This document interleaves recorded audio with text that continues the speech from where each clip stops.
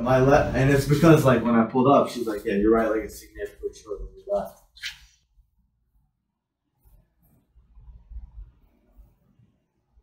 I wonder if you have a true leg length, like a true, you know, Just a short leg. short leg, which may or may not require a lift. Hard to say.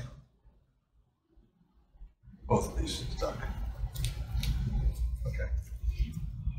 Oh, breath in. And all the way out. Oh, yes, sir. All the way out.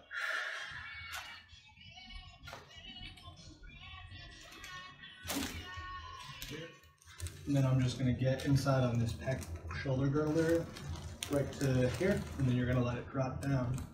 Now it's gonna find the window, like that. Oh, Yep. nice. If you have like a referral over here, Huh? whenever there's a referral back here, you're either thinking, you know, C5, C6, C7, kind of like brachial plexus where it's feeding through here, Right. and then maybe because it's like guarding to take off the tension through the brachial plexus, we'll get some tension here. Or you think occiput um, slash atlas for the uh, spinal accessory nerve that comes through the uh, foramen magnum and innervates this whole complex as well.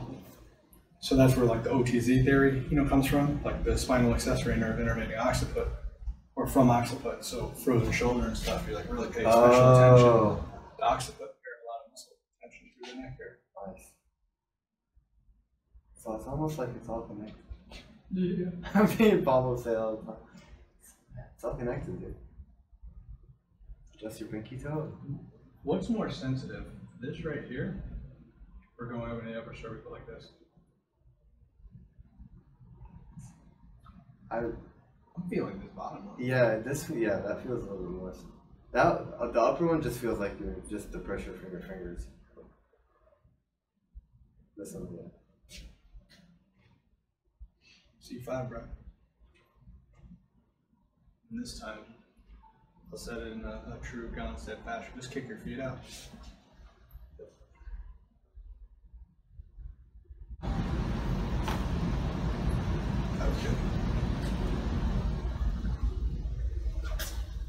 Nice.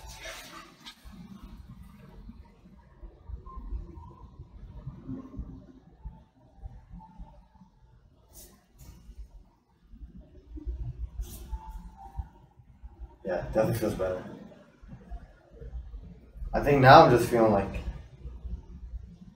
Ah, it feels- no, it feels better. Just like a little bit of muscle tenderness, but that's it. Okay. There's L5 spinal inner. Then just to be gentle with it, there's a little more. Oh,